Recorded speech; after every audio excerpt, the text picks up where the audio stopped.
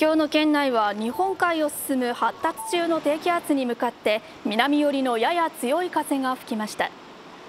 また午前中から気温が上がり新潟地方気象台は北陸地方に春一番が吹いたと発表しました。